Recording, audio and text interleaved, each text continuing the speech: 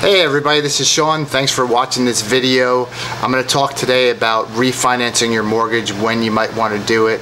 Um, basically covering in my videos and on this channel the various chapters of my book Saving Your Future and specifics related to what's in the book as well as any questions you guys answer me.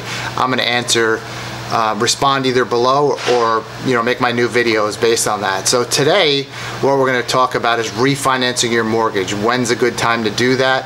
uh, versus not. Also, whether to get a 30 year or 15 year mortgage. Now, we're just kind of touching on a high level, so ask any questions to get more specifics. Um, everything varies based on your situation. So let's get into it.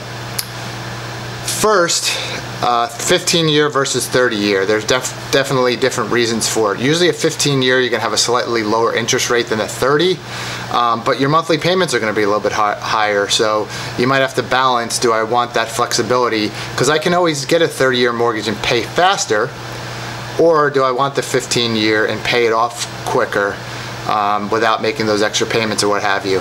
Uh, most states allow you to pay off your mortgage. You know, there's a law that allows you to pay off your mortgage faster without any penalty. You want to check with your lender if you're allowed to do that. Uh, 15 versus 30, obviously you're going to pay off your mortgage in half the time. The amount of interest you're going to pay is a lot less. However, some people advocate to do a 30-year mortgage because rates are so low currently that you can get a 15-year mortgage.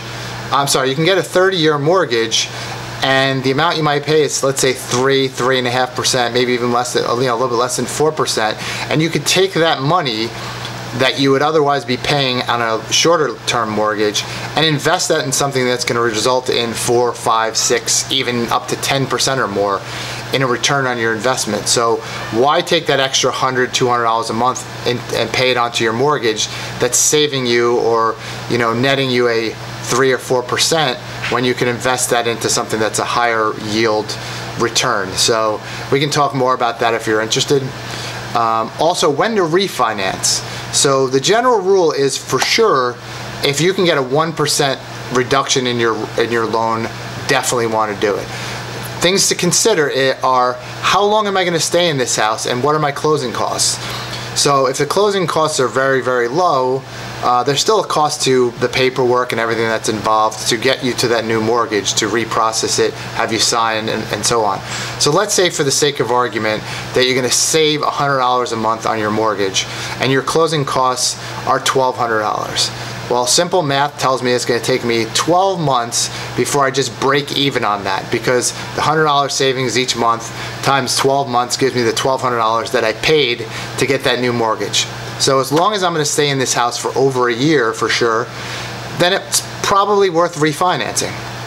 Now, one of the things you want to be careful with is, let's say you have a 30 year mortgage and you've had it for five years, and so now there's 25 years left and then you refinance, keep in mind that if you re refinance to a 30 year mortgage again, you can't say, well, I'm saving $200 a month because it's that's not real. You've added five years onto that mortgage. So you want to compare what am I really saving on a month to month basis based on the same period of time.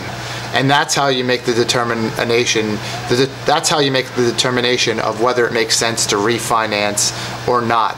Don't let you know anybody try to market you on we're going to save you $400 a month. Well sure.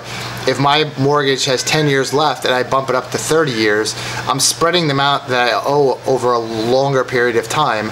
So by nature that's going to be less. So you want to compare apples to apples. What would my savings be per month for the same period of time that I have left?